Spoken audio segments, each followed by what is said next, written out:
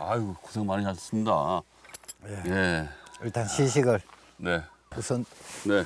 그거부터 보약부터 아까 산에서 네. 해왔던 거.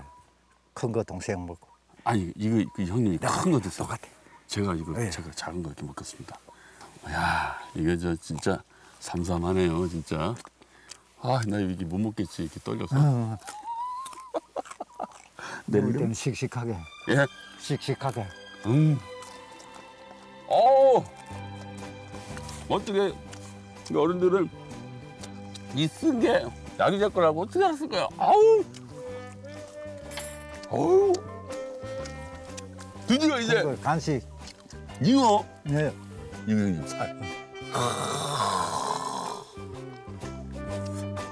양념 탁 같이 올려가지고 와 맛 좋아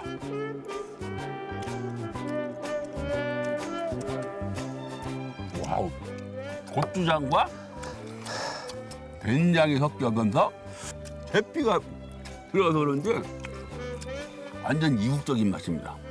그죠?